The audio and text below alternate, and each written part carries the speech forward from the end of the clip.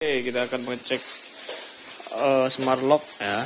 Ini kunci smart lock pintu. Ini mereknya dari ini ya dari Shimir, Shimir uh, smart door lock Bluetooth password cut uh, F8. Oke. Nah, ini unitnya ini pakai aplikasi. Aplikasinya langsung di-download aja di namanya ini ya. Nah, ya ini TT Lock ini aplikasinya kita langsung download. Kita buka. Ini pastikan sudah dirakit. Pastikan sudah dirakit ya. Ada baterai juga. Nah kita seperti ini. Tinggal dicek aja. Nah ini udah nyala tuh. Nah kalau udah masuk ya ini tinggal login atau di register atau yang daftar yang belum daftar. Kita tinggal klik aja. Nah ini door lock dan dia akan mencari ya. Nah dia udah nemu. Ini tipenya langsung.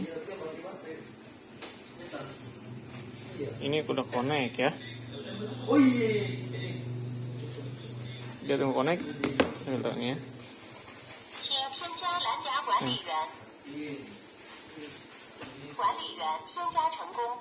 ini bahasanya Mandarin ya Nah ini udah sukses, kita tinggal ini aja, bisa dirubah namanya, kita biarin aja.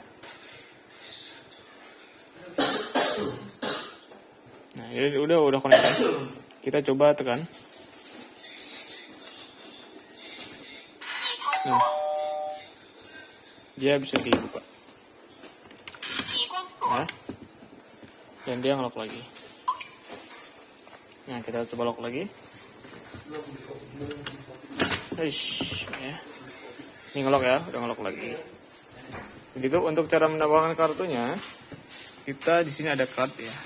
Nah, kita tekan, kemudian kita tambahkan kartu yang ini ya, ID card. Namanya bisa dicek aja.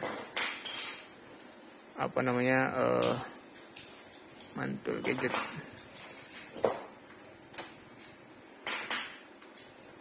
Nah, kita tunggu. Dia sedang koneksi. Nah. Dia minta kita tempelkan kartunya ke sini. Nah, dia tuh. Ini udah ya. Jadi pas tadi koneksi, dia minta kita tempelkan kartunya ke sini. Ini sudah uh, tersambung untuk kartunya.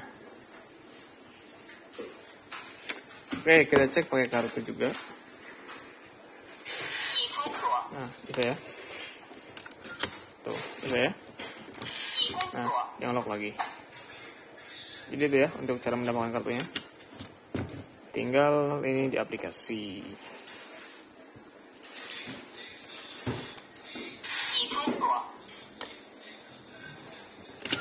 Oke. Okay. Nah, sip. Kemudian kita hapus ya. Kartunya bisa di reset kalau mau ganti pemegang ini kita mesti di disconnect dulu dari aplikasi. Karena kalau ini uh, bukan kita yang pakai ini masih nyangkut itu gak bisa dipakai. Jadi akunnya uh, dia masih di unpair dulu. Kita bisa cek di sini. Nah di delete. Ya oke. Okay. terima kasih